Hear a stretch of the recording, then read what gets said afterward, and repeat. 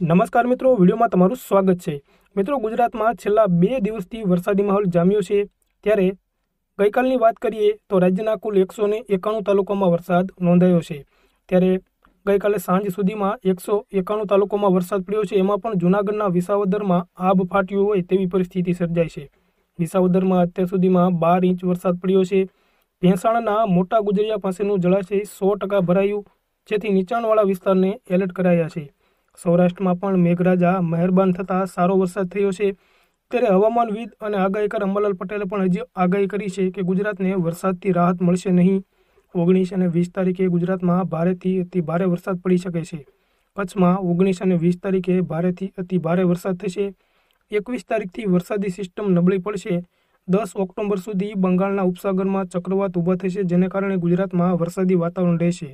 ત્યારે હવામાન વિભાગે રાજ્યમાં હજુ પણ વરસાદની આગાહી કરી છે. ત્યારે મિત્રો, ઓગણીસ સપ્ટેમ્બર એટલે કે આજે ઘણા વિસ્તારો માટે એલર્ટ જાહેર કરાયું છે. જેમાં પાટણ, મોરબી અને કચ્છ માટે ઓરેન્જ એલર્ટ જાહેર કરાયું છે.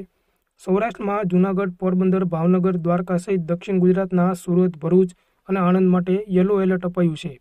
એકવીસ સપ્ટેમ્બર પછી ભારે વરસાદથી રાહત મળશે તેમ હવામાન વિભાગે જણાવ્યું છે.